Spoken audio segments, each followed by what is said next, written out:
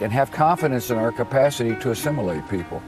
Uh, it's a very difficult bill to pass because there's a lot of moving parts.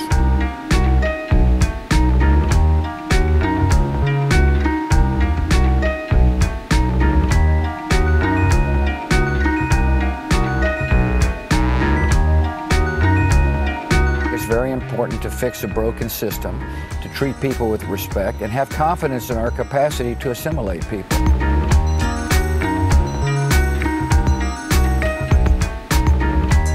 Well, I don't know how we do it, but they seem to want to come and get involved with the madness.